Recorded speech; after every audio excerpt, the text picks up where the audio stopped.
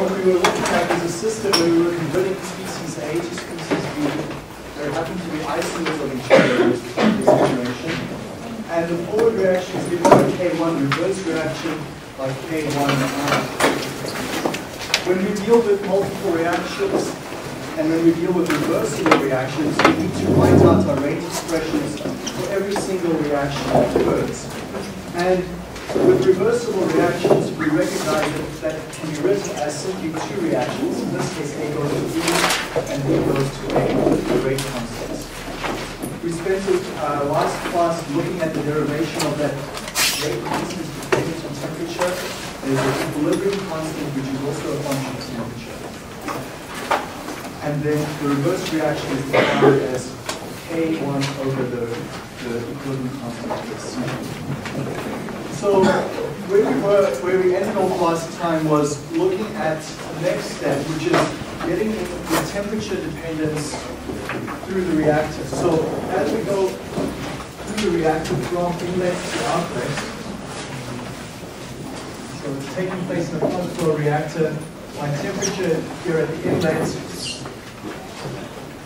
and then at the outlet, we put a model for this given by dx So my volume V is the volume of the reactors I go from left to right, and I've got the conversion from left to right.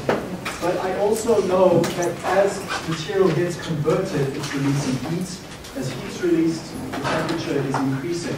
So there's also a temperature profile along here. So the temperature will go up, and we're not sure what's going to happen with it. So what, essentially what we're looking for is temperature as a function of conversion. So that's what the adiabatic reaction, sorry, the adiabatic equation is that you have in front of you. If you go to the handout from last night, we've got temperature then expressed as a function of the very messy equation on the right-hand side. That's what we're going to investigate and where we ended off last night, in fact, investigating. We're going to finish up with that. So if you flip over to page two, we started by looking at a few entries in that equation to help simplify things for us. So we had the Einstein's derivation, delta Cp we derived as zero. We call that the change in heat capacity. We also derived the theta A is equal to Fa naught Guys, just a second, this is really important, this example. Okay? This example has a lot of features and characteristics for the course of question. Just pay real attention here. Because we've got four or five base reports to you. So theta A is the ratio of the flows for species A. Theta B is the ratio of the flows for species B. B. F naught over Fa naught. That's zero because we're not feeding any B into the reactor. And then theta I is the molar flow ratio of the inerts relative to naught. As we showed last class, equal 0.1 over 0.9. So that's that's where we ended off with the class last night. The next steps then on the second page of the handout are to derive that summation term. So we've got the sum theta i Cpi times T naught. And we, we started subbing in the values for that last night. We can show that T naught I'll take T naught out because that's common, and then just sum over the remaining I species. Theta I, well, let's do species A. Theta A is 1, so then we're just reduced to CPA. Theta B is 0, so we don't have to account for B. And then theta for the inert species is 0.1 over 0.9 multiplied by CPI. And then T naught outside the brackets. So if I sub in the values for that, I'll leave T naught here for now, we'll see why. So that gets me to T naught 141 plus 0.1 over 0.9 times 161. And that simplifies that down to 159 T. The units for this term are the same units as the heat capacity multiplied by temperature. So joules per mole Kelvin times Kelvin, this would then joules per mole. The other term we have is very, very similar. It's the, the summation of theta i is CPI. So there's no T naught over here. And that's why I, I did this first example, just leaving T naught as a constant. So that allows us to simply write that this is immediately equal to 159. But this time the units are different. It's joules per mole Kelvin.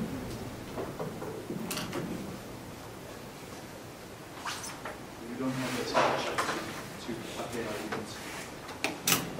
Then the final term that we need in that expression on page two, in the middle of the page, is the heat of reaction at the reference temperature.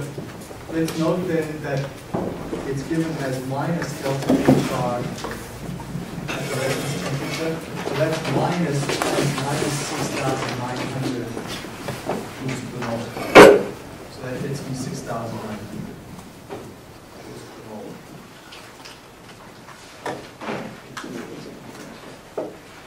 and it's joules per mole of a reactant. So it's a always that per mole is for relative to a particular species, in this case it's the basis A. So heat of reaction is 6,900 joules per mole of A. So now I'm ready to sub into that equation midway down page two. And we get, we get it simplifying for us.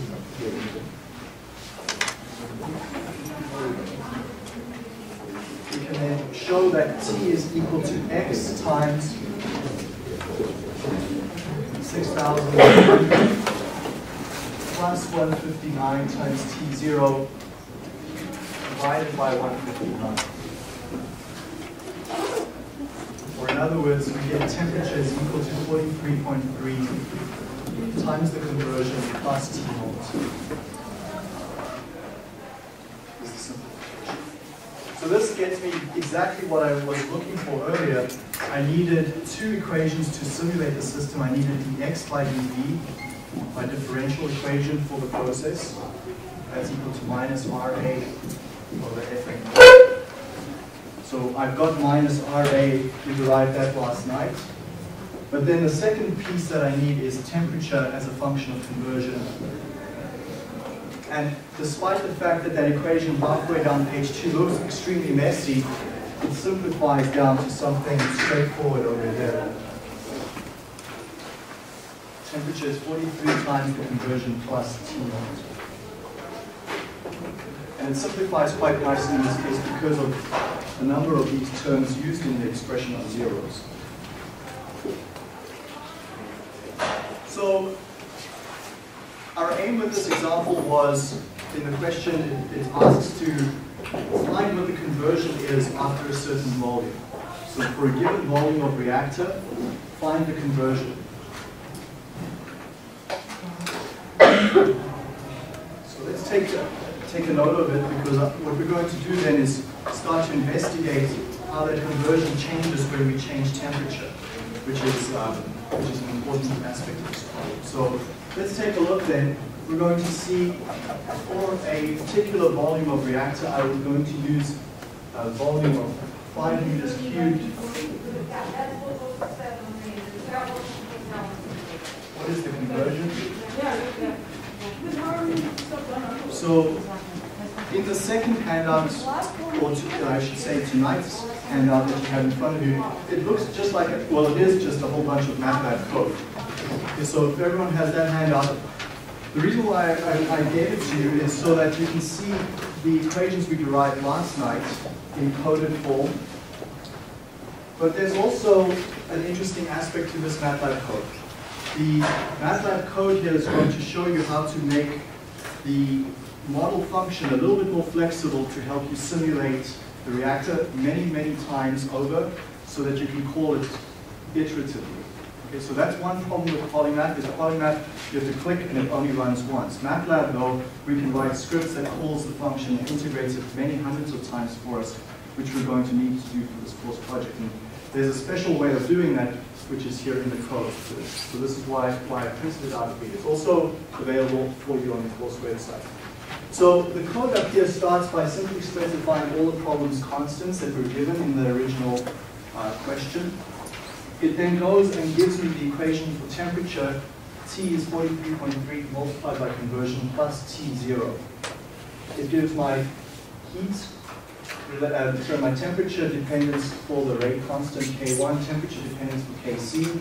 I've got the definition for K1R.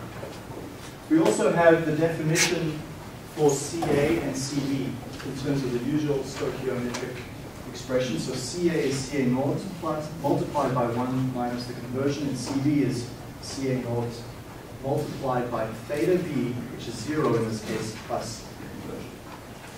Okay. So those are, those are last night. And then the final endpoint to this model is simply the ODE, which is dx by dv dependent variable as a function of the independent variable is minus RA over Fn naught. So that's the last line just in the in the question.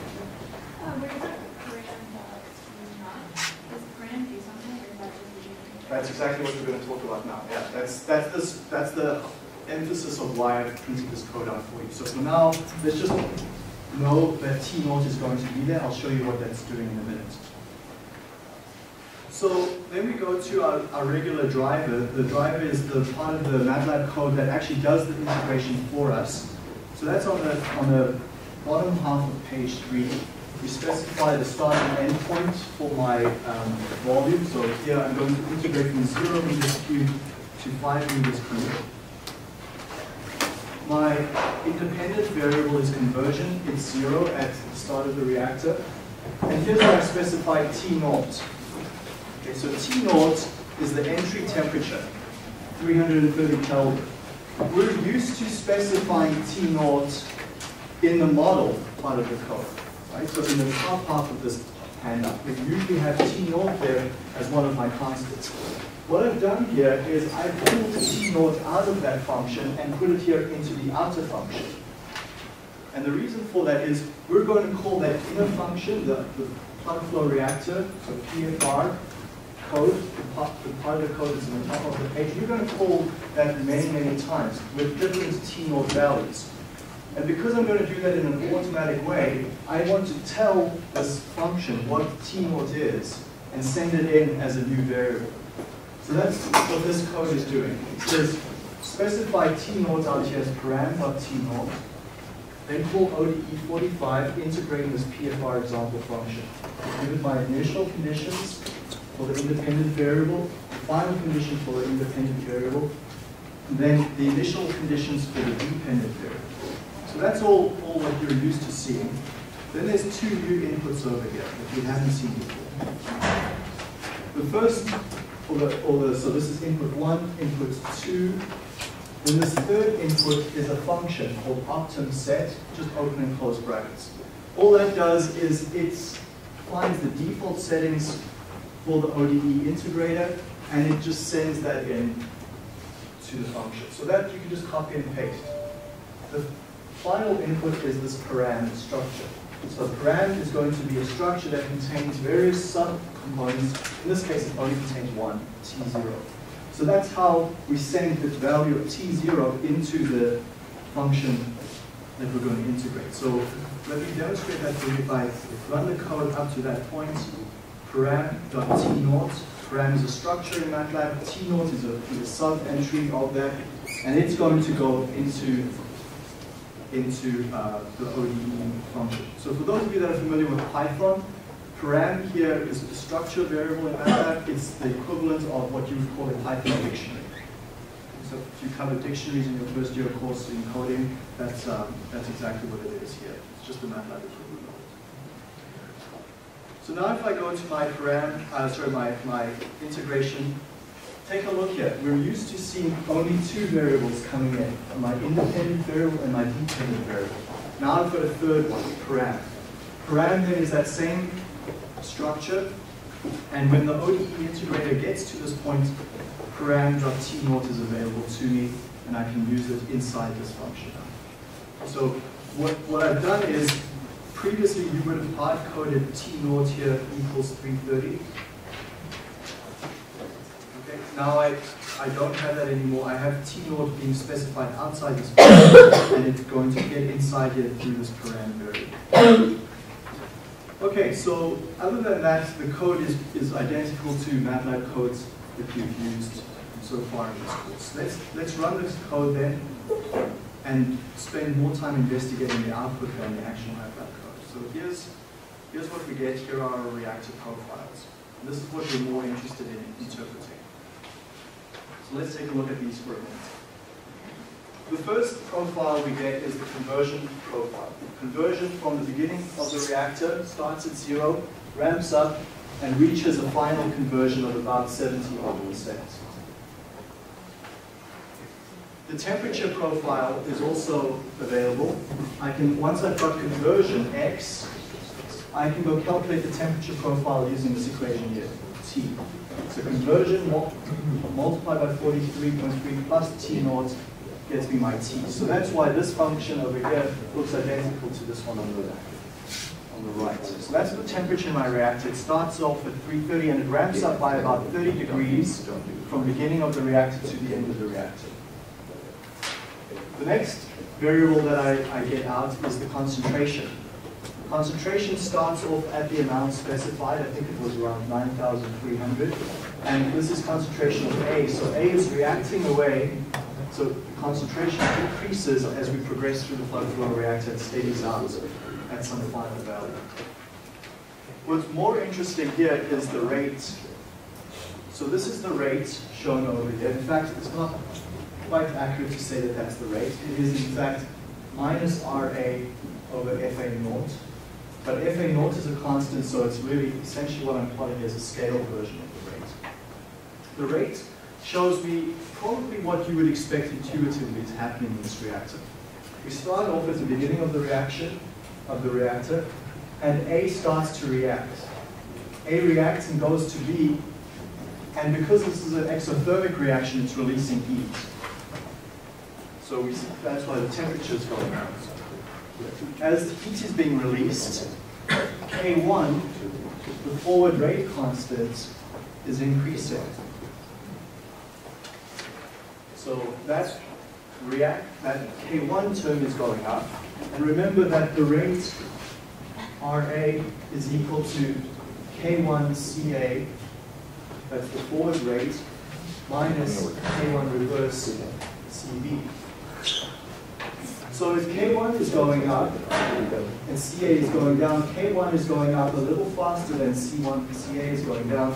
So my overall rate is at least ramping up. As the temperature gets higher and higher, the temperature is going up, K1 is going up, that means my rate is going up. But it gets to a point where rate starts to drop off. What's happening here is that A is starting to be depleted. My raw material, my reactant A is disappearing. So then rate starts to drop off. In addition to that, as you go to higher temperatures, my equilibrium constant, Kc, we showed for exothermic reactions, Kc will get smaller and smaller. So last, or a few classes ago, we showed Kc is the equilibrium concentration of B over the equilibrium concentration of A. And we also showed that this function of Kc with respect to temperature exothermic reactions look something like that. So the temperature goes higher, Kc drops.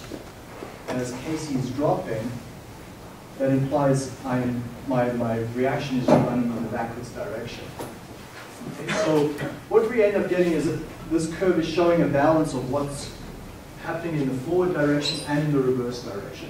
My reaction is getting faster and faster, but it gets to a point where it gets diminishing returns and I've got less and less A to react. And so I end up reaching this point where RA tends to zero. Okay, so RA, the rate of reaction here is getting to zero. That's pretty insightful. In this particular instance, the fact that the rate gets to zero indicates that I'm reaching equilibrium by the end of the reactor. And that's, that's pretty interesting because for many systems, we do not actually ever achieve equilibrium. From the beginning of the reactor to the end of the reactor, we may never reach equilibrium in many instances. In this case, we know we're reaching equilibrium because the rate of reaction tapers down and steadies out to zero. If I integrate this beyond 5 meters cubed, so here I'm integrating to 5 meters cubed, if I went to 10 meters cubed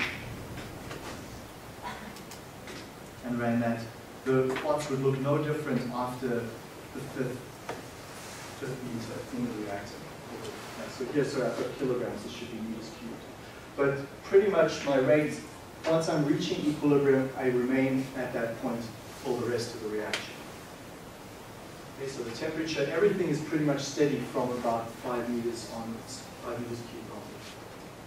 Okay, so this is then just an implementation of the example we looked at last night and helps us answer this question, what is the conversion? Well, we can go look at, at what it is numerically in the software. In the software, it's this uh, x variable and my, my, my dependent variable. And so I can just go list what that dependent variable is in MATLAB, and it's pretty much, so we see that at the beginning of the reaction, zero conversion, towards the end of the reactor, we steady out and land up at 71.4% conversion. So let's just take a note of that. So we're going to get for temperature, uh, my inlet temperature was here, T0 was 330 Kelvin, I get a conversion of 71.4%. Conversion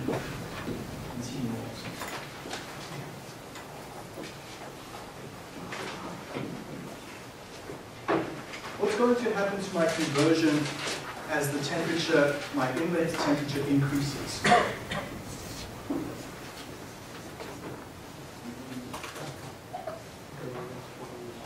Conversion is going to go higher. Does it go higher than that?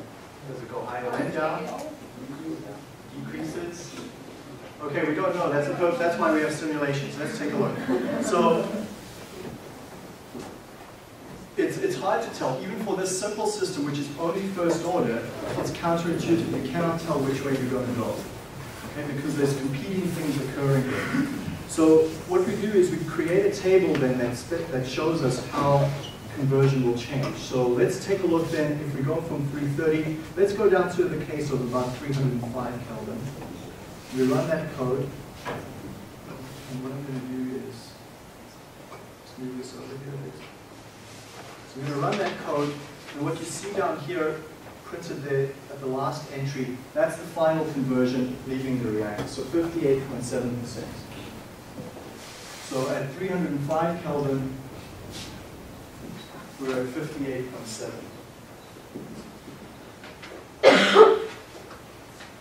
we can go up a bit. Um, let's go up into 310. So we run that, and it's then we end up with a conversion of 72.5.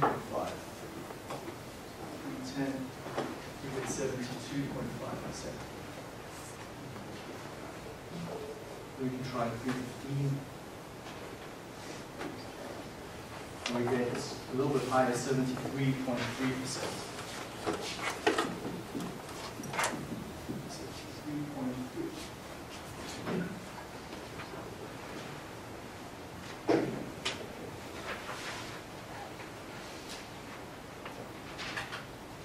So 320 Kelvin, we get 72.6. Now we're starting to fall off again.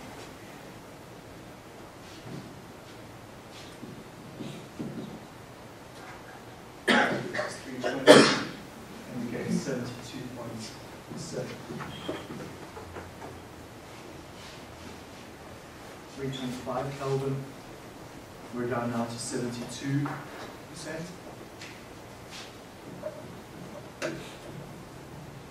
And then 330 is our base case, that was 71.4.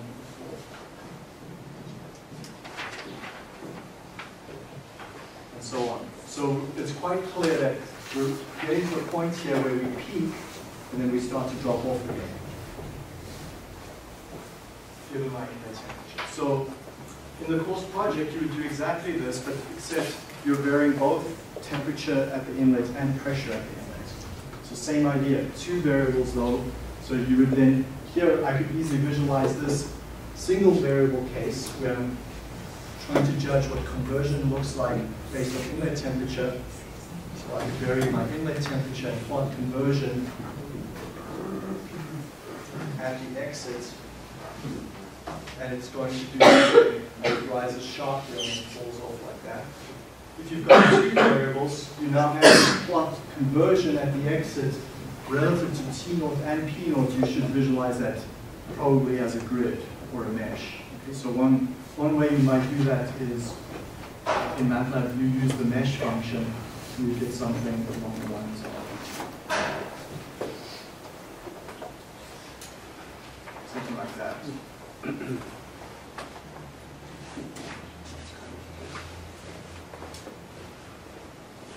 So the mesh function, I don't know if there's something wrong with that, so I don't know how.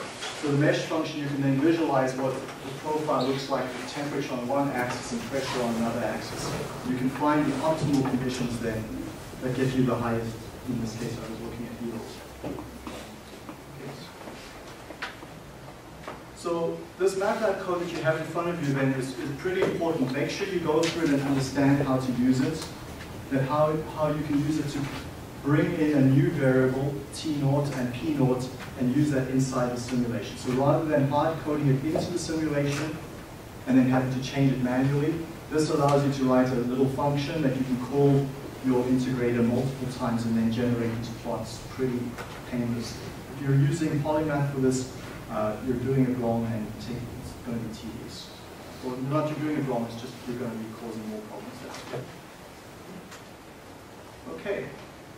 So that's a that's an example of, of the material we considered last night. I just want to make a few notes here on this idea of optimum temperatures.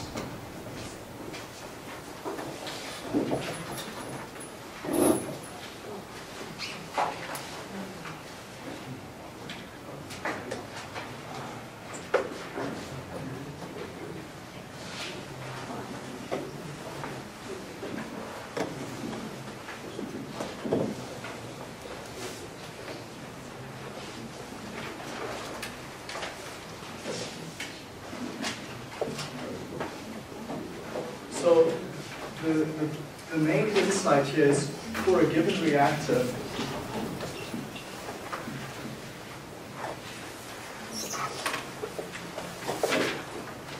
and for a reversible and exothermic reaction,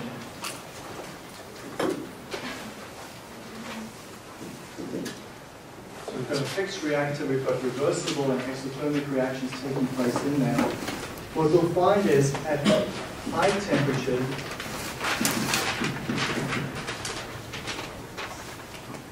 we'll have fast forward and reverse reactions.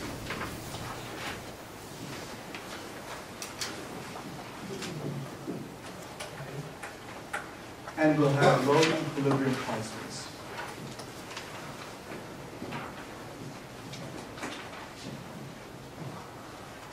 So high te- at, high temperatures, my equilibrium constant drops off, but I have very fast forward and reverse reactions. That implies that I approach equilibrium very rapidly, but I get, I will end up with low conversion and low yields. So approach equilibrium rapidly. Okay, that's what the first part tells me. The fact that I have very fast forward and reverse reactions at high temperature means I will, will likely achieve equilibrium, but I'm going to be at low conversion and low yield.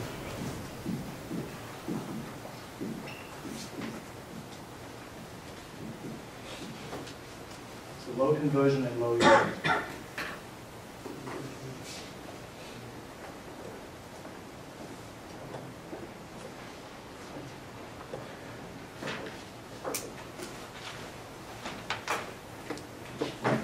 At low temperatures, what we have is a situation with very slow forward and reverse reactions.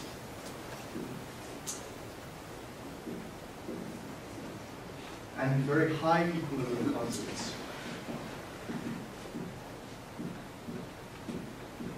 So a high equilibrium constant is of course desirable. It means I've created far more products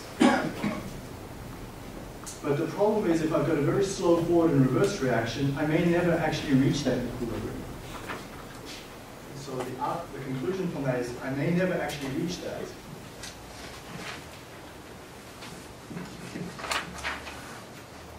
Because the, my reaction rates are so slow.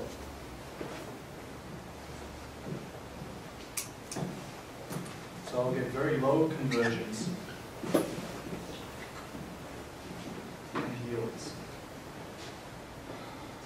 So both situations, both high temperatures over there on this board and low temperatures over there on the other board, both instances, very different mechanisms taking place, but both land up with low conversion and low yield. Okay, so there's definitely a middle ground in between an extremely low temperature where you get very sluggish, almost no reaction occurring. You can show that if I drop this temperature down just a little bit more, my reaction barely even proceeds. Basically, I'm sending my feed into my reactor and it's coming back out again on the other side. So the reaction is so slow because of the low reaction rates. Even though the equilibrium constant might be high, I'll never actually reach equilibrium. I'll need a, a pretty long reactor to get to equilibrium. So that's no good. The opposite extreme is also no good. The opposite extreme is I'm going so rapidly, I'm going to approach equilibrium, but because that equilibrium constant is low, means I'm creating more raw material than I'm creating product. The reverse reaction is going, is being favored over the forward reaction. So I never actually get my products forming to the extent that I would like. Okay, so definitely a middle ground. And then what we showed now was a way to find that optimum temperature.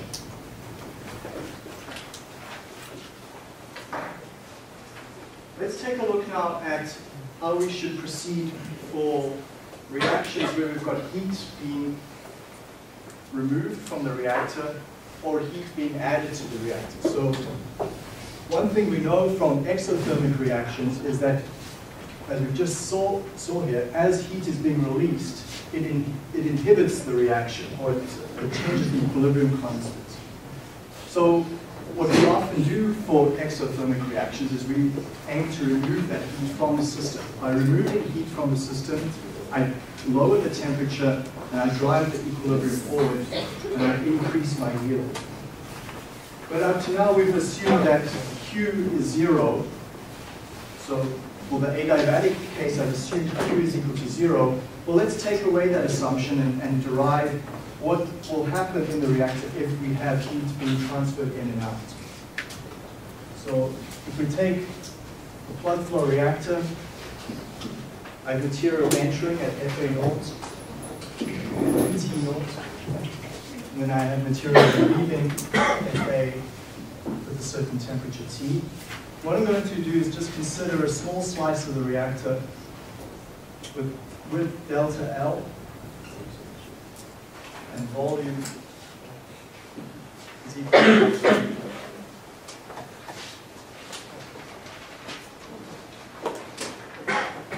And what we can do is we can do a heat balance the same way as we looked at the heat balance uh, two nights ago at the start of this week. We can do a heat balance, but now we're just doing it over a small region. We say delta Q dot is the heat entering and leaving. I'll define that in a minute. Plus the enthalpy entering. So Fi, Hi. This is at point B minus the enthalpy leaving.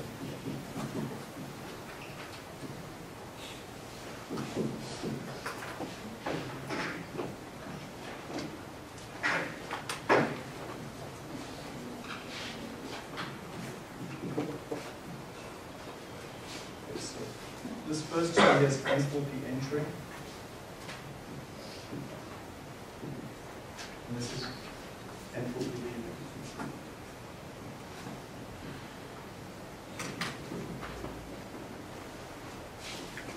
And Q dot is the amount of heat added and removed into that slice. So that's delta Q dot.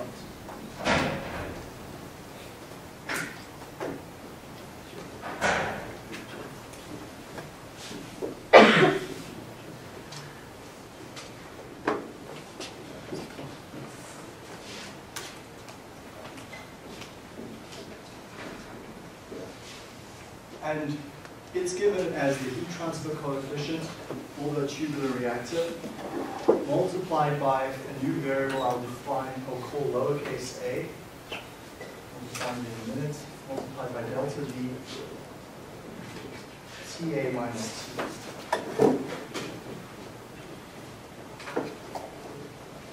So TA then is the ambient temperature.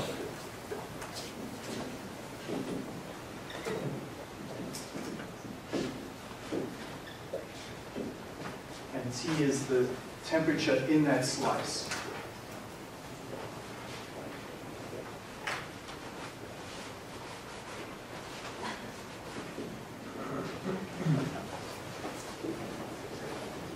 Let's just take a look at, uh, at that, those two terms. The product of those two terms is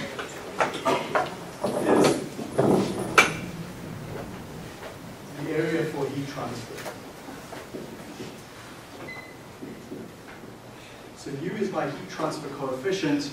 A multiplied by delta V is my area through which that heat is being transferred. So it's the internal surface area in this slice. So the area that that tube is exposed to all the way around on the circumference.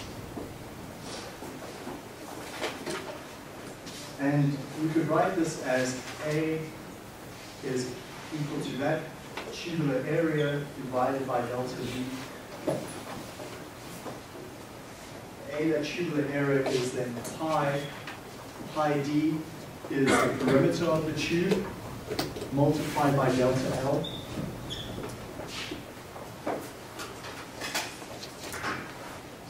So pi d then, this portion here.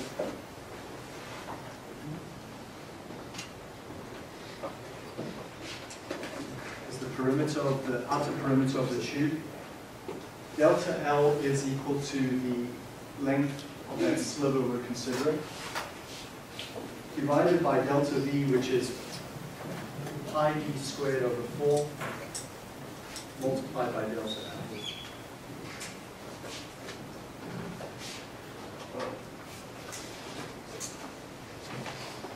So that simplifies quite nicely to 4 over d. So we, we call A then, if we want to express that in, in more easier to use terms, it's the heat exchange area available per unit volume of reactor.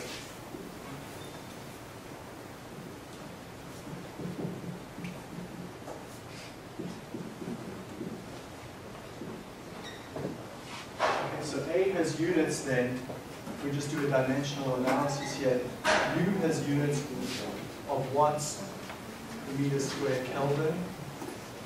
A has units.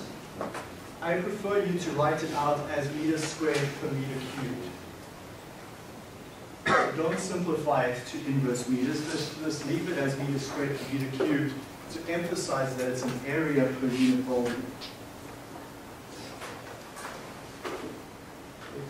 So we're multiplying watts per meter squared Kelvin with this unit over here and multiply by temperature and we'll get the delta, delta Q.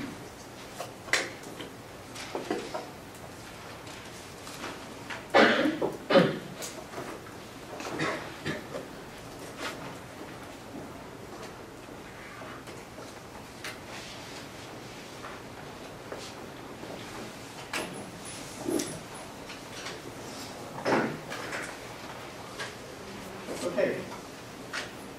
So let's, uh, let's substitute it in. What we get then is if we substitute in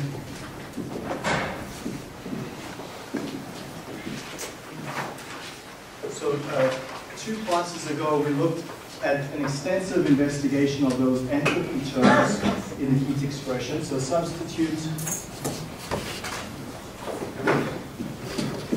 enthalpy terms. Say uh, C 10A. So tonight is class 10C. So two nights, uh, on Monday night's class 10A, we looked at those enthalpy terms. So we substitute those in for H.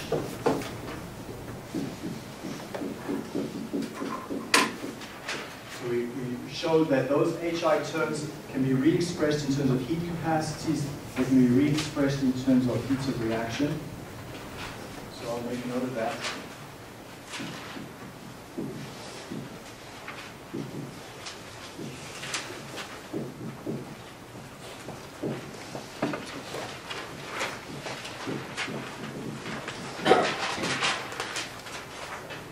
So we, we make that, those substitutions, which leads to something that's pretty messy. We also then take limits as delta V tends to zero. And then we get a pretty useful equation that we're going to, that's going to give us the temperature profile in the reactor as we go from beginning to end. We get probably one of the very important reactions, uh, equations that we're going to use. In T by dV, the rate of change of temperature as we can go from entry to exit of the reactor is equal to minus RA times minus the heat of reaction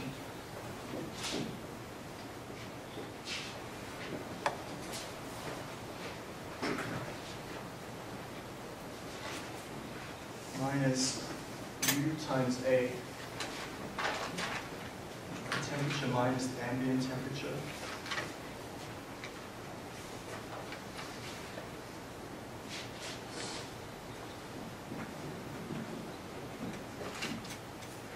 Divided by the flow multiplied by the capacity.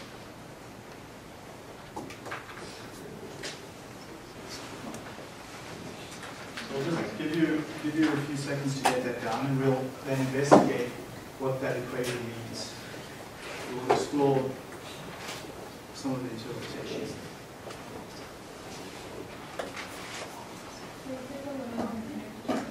On, on the one that I had up on the board just before I went, there, in that slice, in that slice.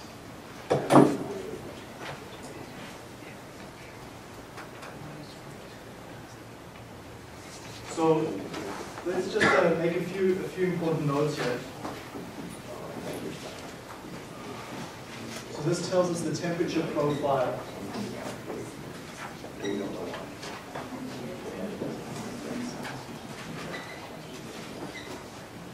the reactor.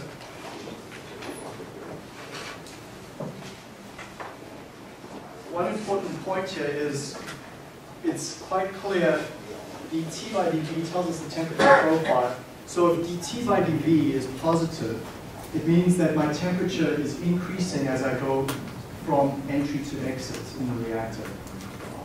So let's just emphasize that if dt by dv is greater than zero, then temperature rises.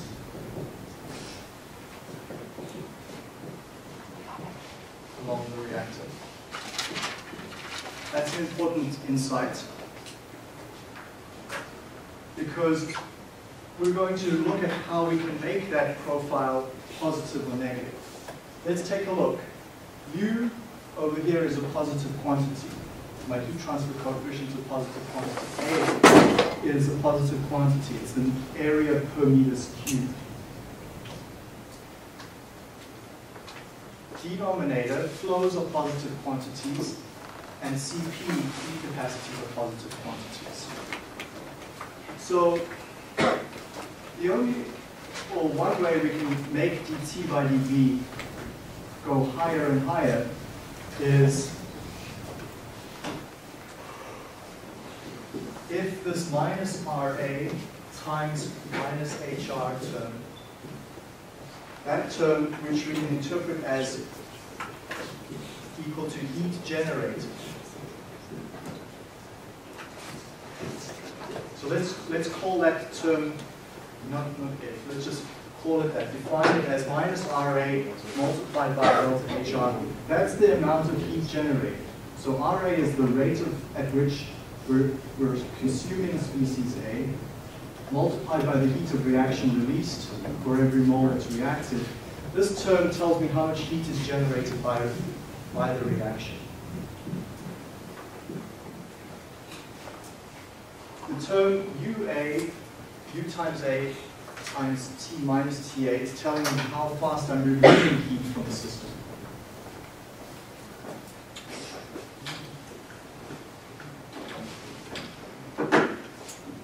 So UA T minus TA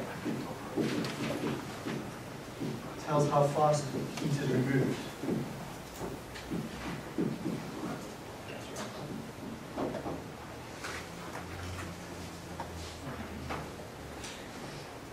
Okay, and let's be clear here, heat is only removed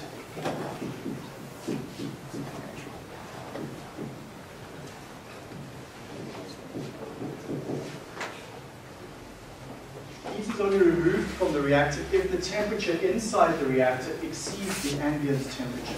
So the, the direction of heat transfer is always important, as you know. So T is the temperature inside the reactor, T ambient is what's outside. So heat is only removed from the system if that ambient temperature is lower. Or in other words, if the, in the inside temperature inside the reactor exceeds the ambient temperature, then heat is going to be removed. Heat is added in the converse case. So if I was running an endothermic reaction, I would want my ambient temperature to be greater than the internal temperature. So heat gets added to the system. Heat is added if TA exceeds T.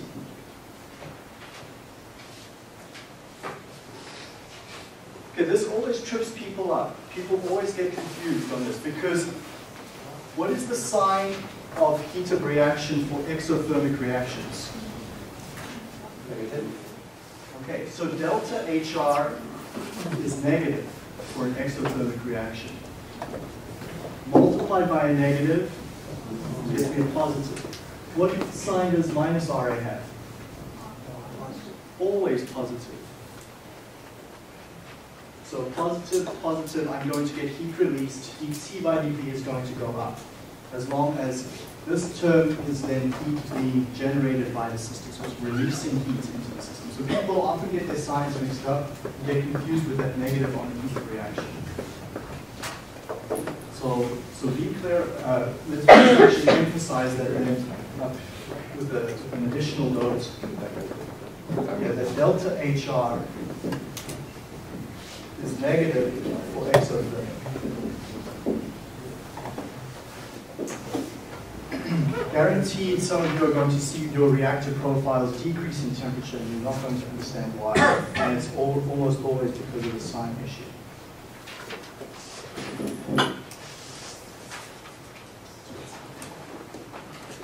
Now, so this is all good and well, what we've derived at here, but it's, it's suitable for plug flow reactors, but not packed bed reactors. So let's just take a look at one way we can convert this expression here over to a packed bed where we integrate with respect to W. So it's a very simple change. All we, all we substitute in and recognize is that dW is equal to rho V times dV.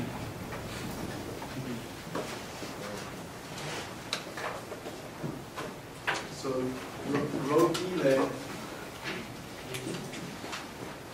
let's define that quite clearly.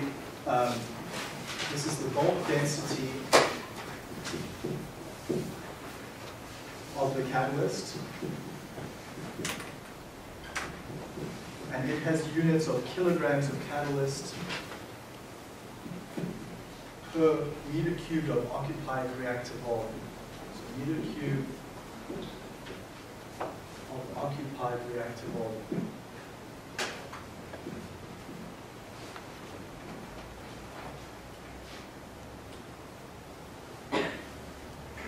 Maybe one, one way to help understand that, because there's the definition for the bulk density and there's the definition for rho C, the actual catalyst density. So one way is just to, to draw a picture of that, just to make sure that you're, clearly getting the distinction correct. People uh, uh, got this wrong on the midterm, so this is an issue. if we take my reactor and assume it's filled with catalyst,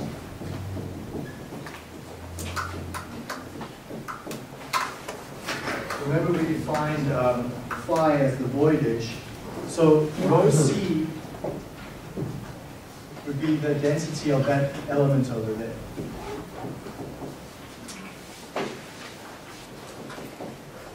So it's the density of the particular catalyst particle.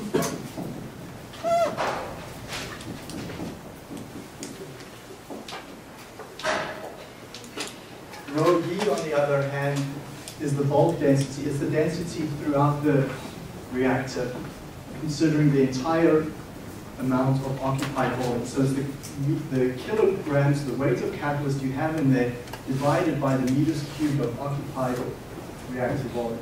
So rho v then is my value.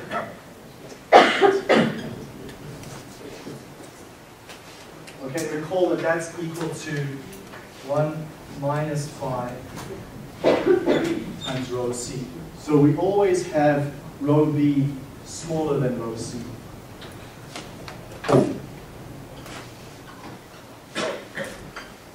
Wasn't this for a PFR?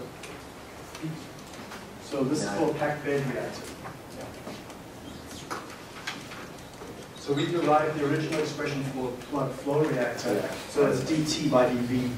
I'm just showing you, we can sub in this expression over here, and basically what it ends up with is that if I wanted to express this as dt by dw, I divide through by rho v over here. So we'll, I'll recap this point in class uh, next week. This equation that's up here is the one that you use for your projects. So in the tutorial on Monday and Tuesday, for those who you coming to that, we'll, we'll work with that and start to substitute that into your